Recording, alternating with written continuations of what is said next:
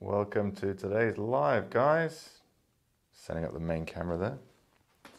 Uh, what am I doing today? What am I doing? I am stitching in a welt onto a gusset.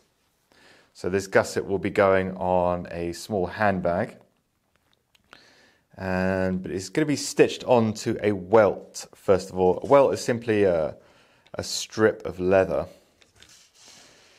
that goes on around the outside of the gusset, similar to a welt that goes around a shoe, like on a Goodyear welt, for example. It's a go between. Hello, everybody joining me. So, what I'll do is I'll just uh, quickly show you what I'm doing. So, this here is the gusset on the inside. So, you have a little D ring here, which is where the strap attachment is going to go. So, this is the gusset for the side of the bag. And the welt is a strip that goes all the way around the outside. And right now, I'm stitching the edge of the gusset onto that little strip welt. And then that welt is stitched onto the bag. And it gives it more of a 3D look. It can make installation a little bit easier as well. It's slightly more time consuming, I'll give you that. But installation is somewhat easier. But yeah, completely different look to it.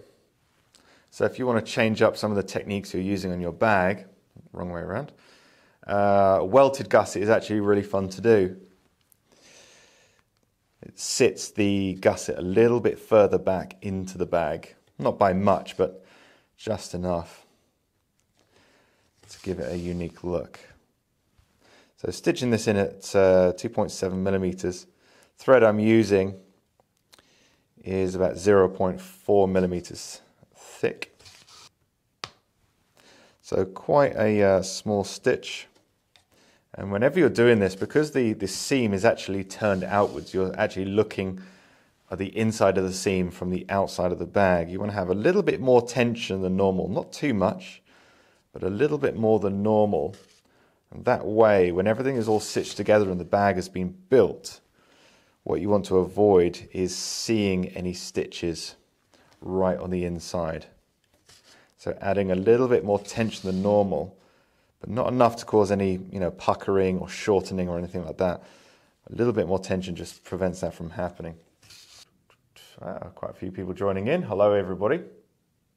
Thank you for joining in.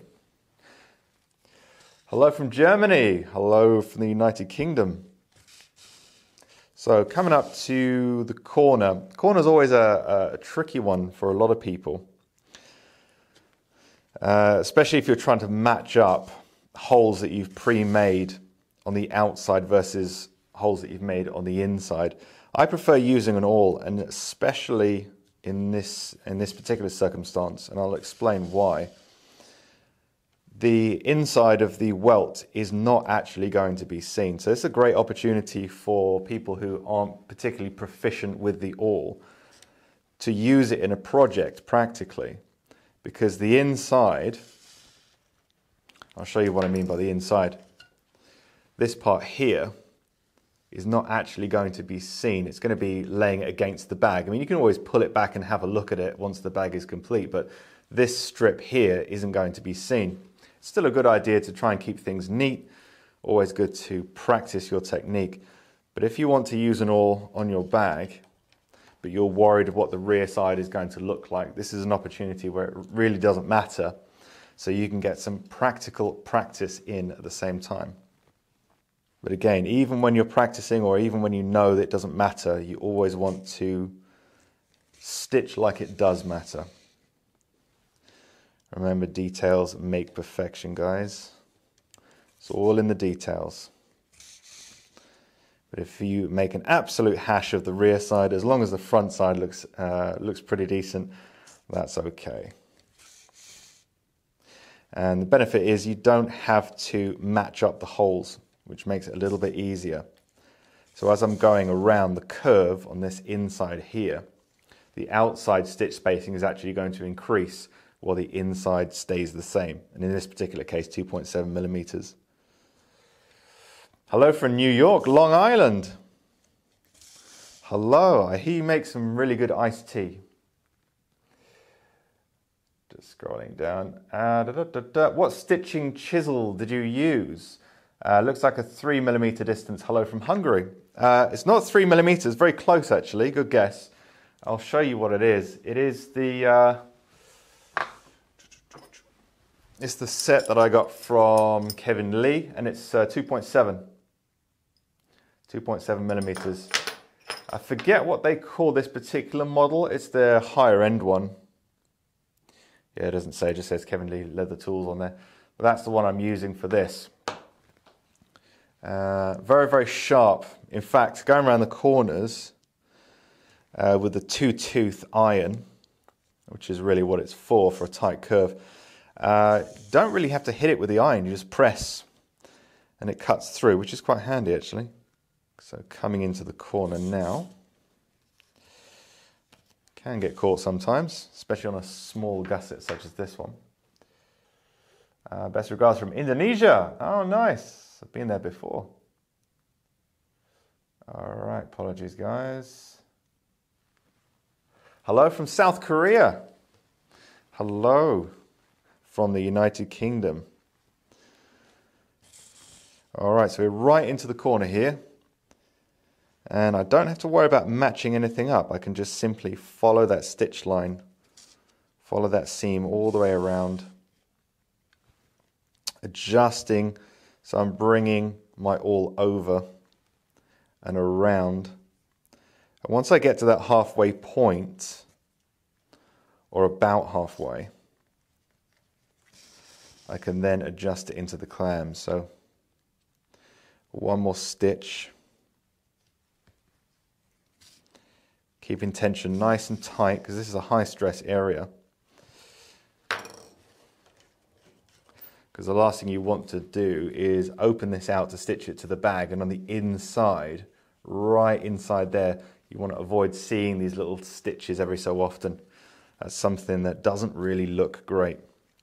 Now luckily these clams are small enough that I can get the end in, which is quite handy. Hello from Jakarta, Indonesia. Been to Jakarta a very long time ago. Uh, I arrived there to tour Java and uh, it was right in the middle of a flood, which was uh, quite eye opening beautiful modern city. And uh, it was before the days of uh, mobile phones, you know, going back a long time ago, or at least before they were really popular and everybody had one. And uh, my family didn't hear from me for a few days.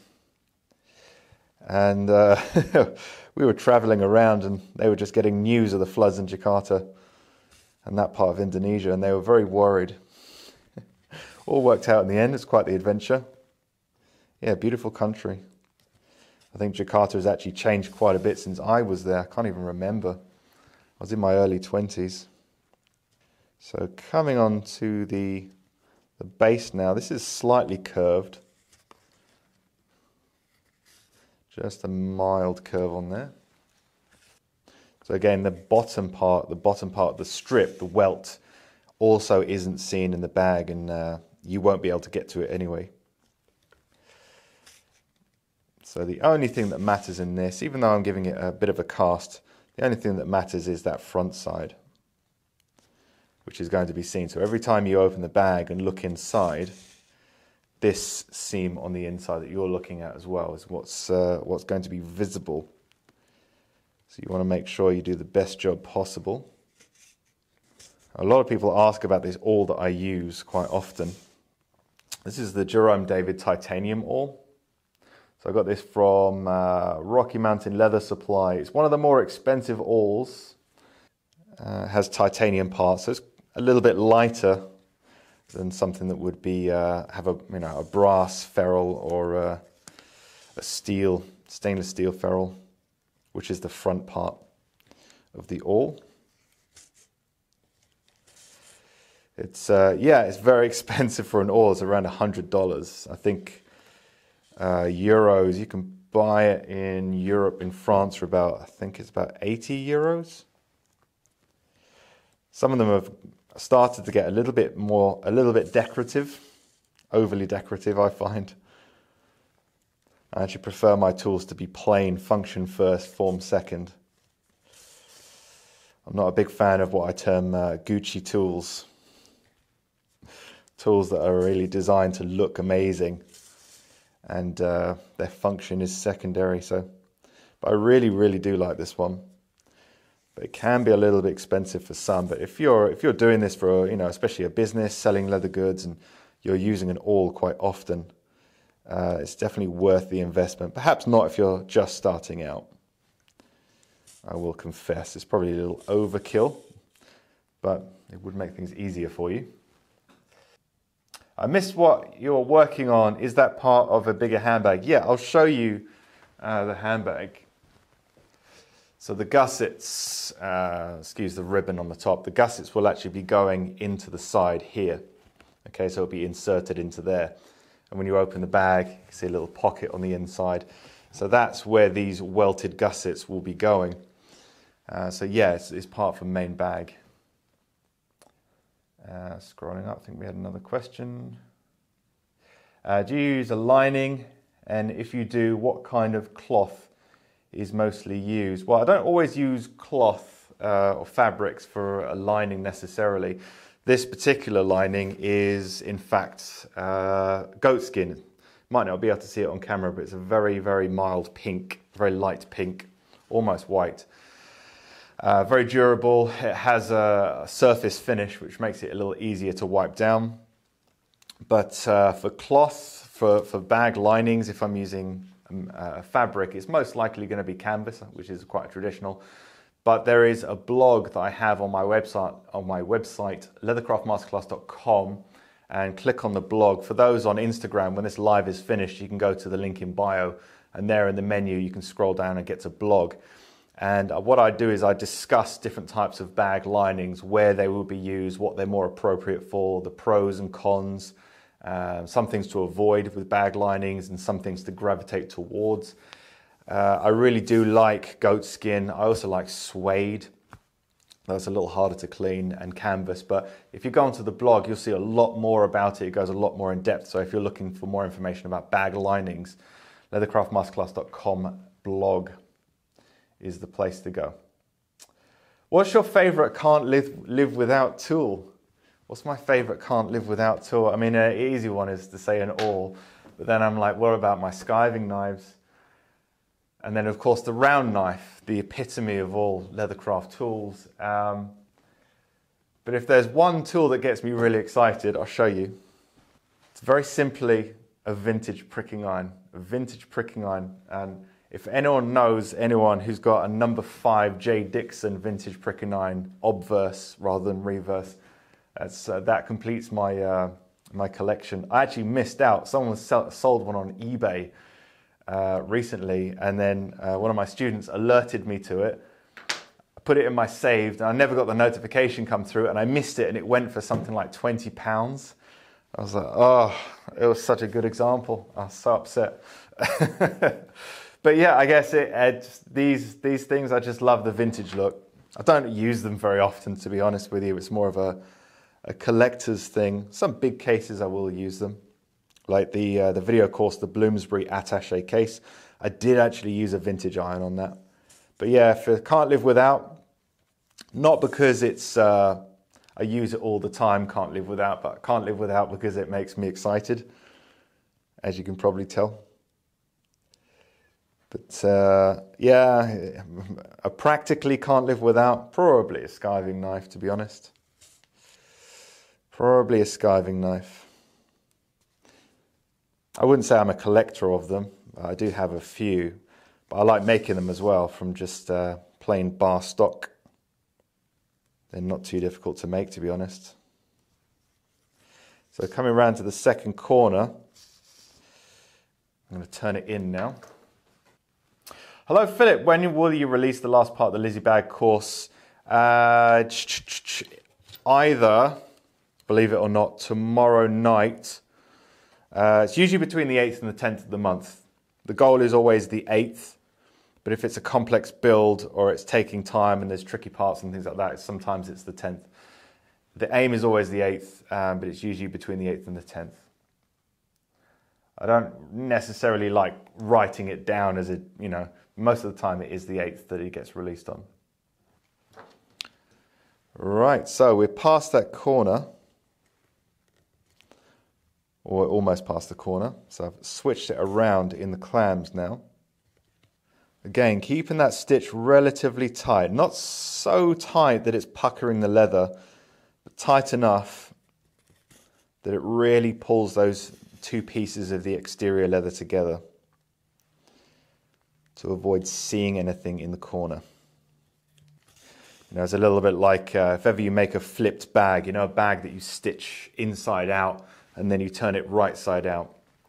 Uh, a lot of the time you'll see piping accompanying that in, in more luxurious leather bags, but if you haven't stitched tightly enough, when you flip it, you'll see the little lines of all the uh, the thread going through from the stitches, and that's uh, that's a sign that you haven't pulled those stitches in tight enough. So there's, there's a balance. It's a skill. It's practice, like anything. Uh, question here from Headcase Leather. That's a cool name. Uh, what grind angle do you find works best on your skiving knives? Uh, I've always gone for 13 degrees um, which is you know 12, 13 degrees, which seems quite you know quite shallow, but it also compensates for the stropping that you're doing, which very mildly starts to round the edges, you know, which is difficult to get around. So if you start from a slightly tougher 15 degrees and then it starts to get rounded, then you know you will find shortly afterwards you're having to use more force to skive, even though you know it's hair popping sharp, it's just not cutting through like butter. So yeah, 12, 13 degrees, which is quite shallow. With a good quality steel, it's, it will take it. Uh, a good example of that is probably this one. I made this one from high speed steel, so that's a 13 degree on that one. Uh, little goat skin wrap on that. I believe I have the same on my Blanchard Skiving knife. Again, this is high speed steel as well. Uh, really, really good edge on this. Uh, I find you can get, this is probably commercially my favorite skiving knife that you can get. I've, I've had quite a few, various different brands, and this is my favorite. It doesn't come skiving sharp though. It's one of those that you, you kind of have to know how to sharpen in order to get the best out of it. Uh, I do have a video course uh, uh, I was going to say techniques of the edge then. No, techniques of the blade. Techniques of the blade. So that's a course where I teach how to sharpen. The difference between a skiving sharp knife and just a sharp knife is a completely different league. It's one of the basic skills that every everybody should know how to sharpen uh, a skiving knife to get the best results. Because when you when you have a knife that is truly skiving sharp, it makes it enjoyable. A lot of people dread having to skive or they change the designs of their projects to avoid having to skive. And that's a real shame because they're not quite living up to their full leather crafting potential if they're doing that. And all it needs is the right knowledge on how to sharpen. Crucial, crucial, in my opinion. Almost as important as, as knowing how to stitch, in fact. I think people underestimate the amount of knife skill that uh, Leathercraft actually needs. So just going through comments, making sure that I haven't missed anybody. I don't think so. Apologies if I have missed anybody's question or comment. It is not intentional. So almost coming to the end now. So a little bit, a couple more inches. So the exterior leather, I don't know if I mentioned, is uh, glacé kid skin. So kid skin is actually a small goat. Somebody's eating them. It's not me, but whatever the case, their skins are available. And uh, glacé kid skin is uh, a version of kid skin where it's polished. So it has a, a greater shine. You'll see that here. So that's not a surface finish it's buffed to that finish. It catches the light. It's a very, very fine grain. If you look at it closely, you can really see that it is truly a, a goatskin grain, but it's smaller, tighter, and with that polish, very, very subtle.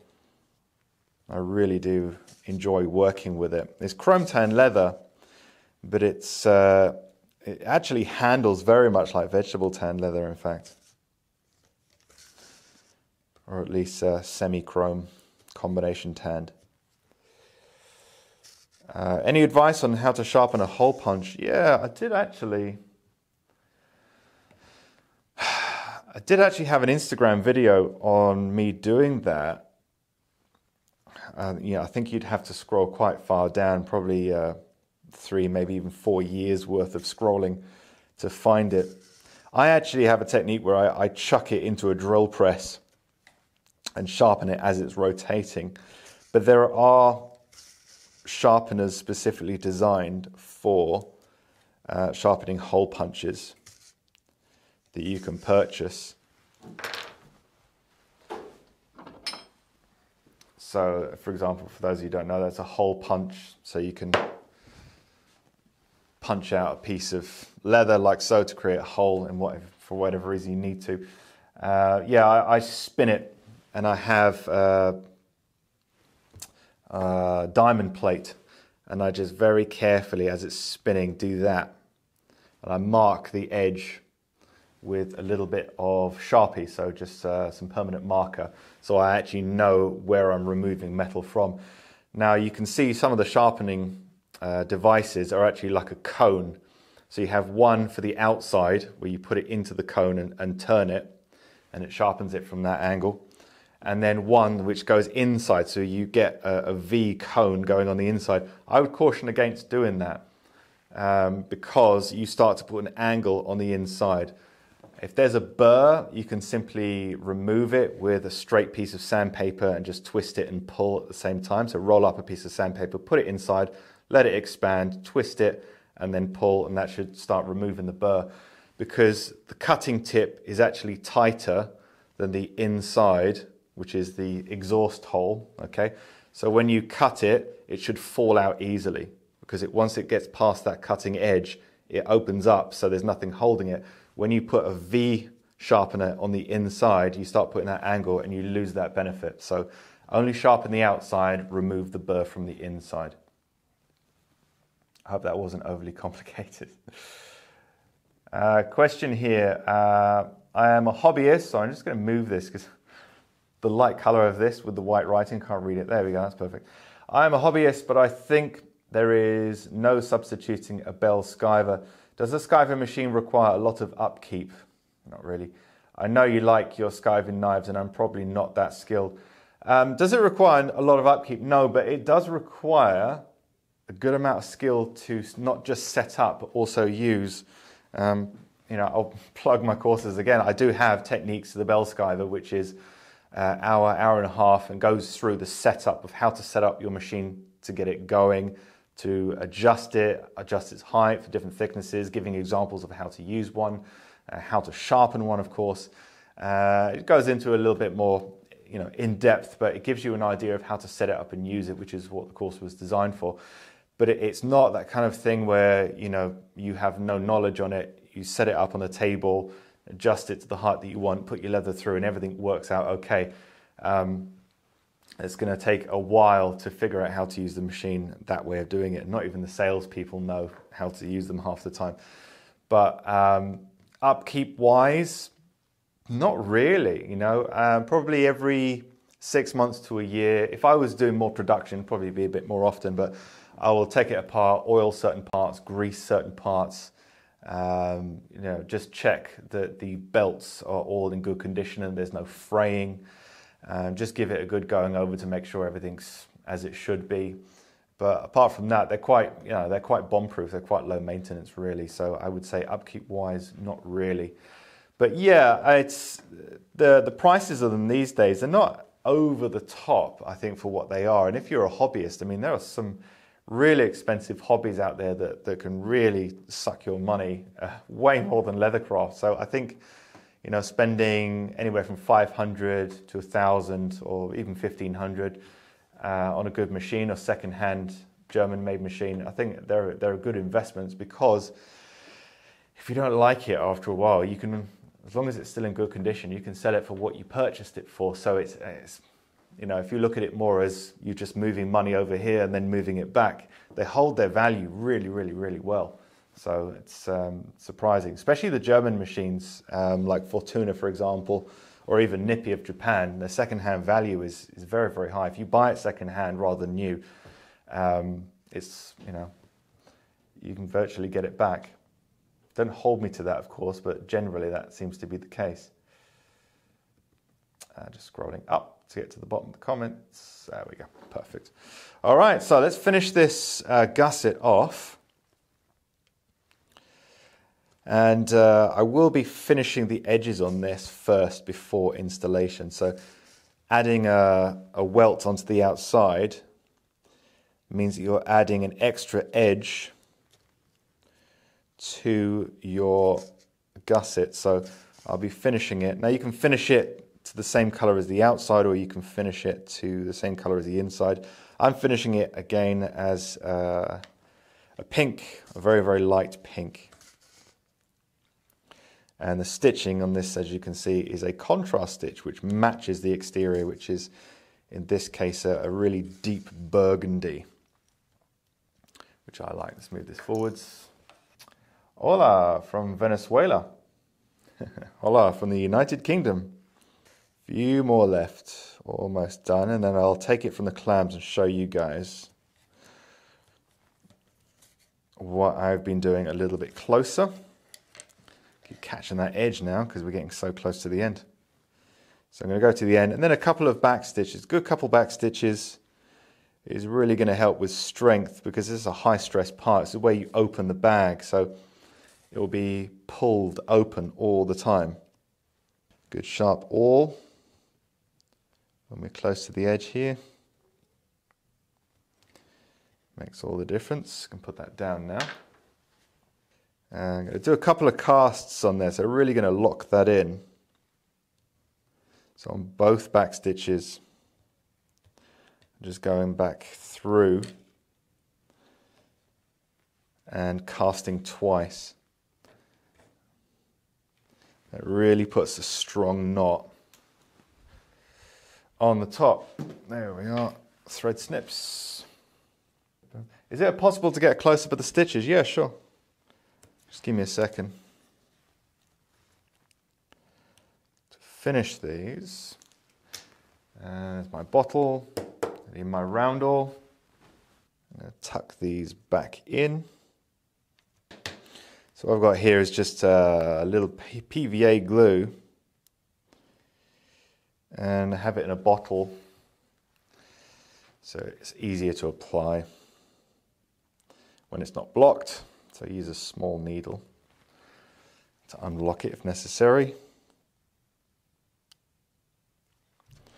Good thing about this is it really pushes it in there. You just press it up to the hole, squeeze, and then when it comes out the sides, you know that you're uh, you're in business.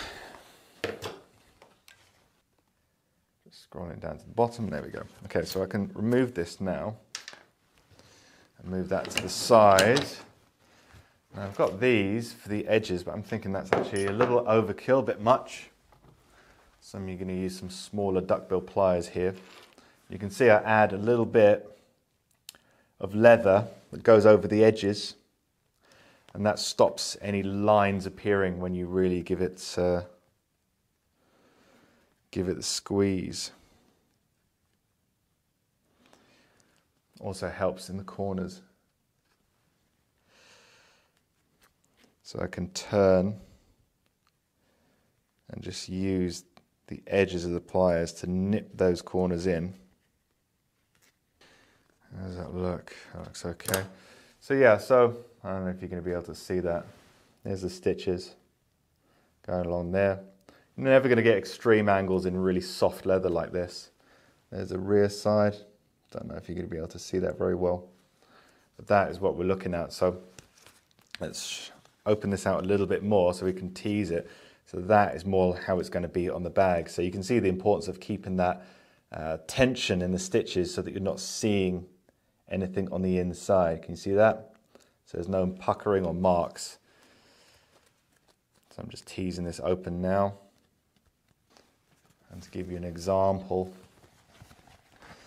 of when it's stitched in place, if I can get it done on camera. Yeah. Obviously it gets glued in and then stitched in, but that's kind of how it completes it. So it's the side of the bag where we have these little attachments for the shoulder strap. So that is what I'm going to be working on next. So I'm going to be going back to filming now for the course, the Lizzie handbag, the Lizzie crossbody handbag part three, which should be out in the next few days. Uh, for those of you who subscribe to the masterclass. Now, guys, I've been doing a lot of stitching in this, and some of you might not be able to stitch at that at this point or know how to do the saddle stitch. So there is a new free video on the Leathercraft Masterclass. There's been an update. So don't forget to go to the leathercraftmasterclass.com and you'll see a little pop up there. All you have to do is put your email in and I'll send you immediately a course on hand stitching leather. And this isn't like a, a, regular course because you're going to see angles from all different sides. So there's double screens, there's views from above, how you would see the stitch. So it gives you a little bit more of an in-depth idea of how to saddle stitch and how to get the stitching results that you want. So leathercraftmasterclass.com, wait for the pop-up, you'll see it come up within a few seconds, enter your email, and I will send you that to your inbox immediately. So don't forget to get your hands on that. Absolutely brand new. Beautiful work, man. Thank you very much. Appreciate the recognition. And all of you who join me on the live to watch me, thank you very much. Uh, for those of you who ask questions and engage, really helps the live to keep going, so I appreciate that too. Uh, any questions or you want to know a bit more about the masterclass or leathercraft questions in general, don't forget to DM me at Leathercraft Masterclass or send me an email, philip at leathercraftmasterclass.com. One L in Philip, guys. It's way more exclusive. Thank you very much, and I'll see you in the next live. Cheers, guys.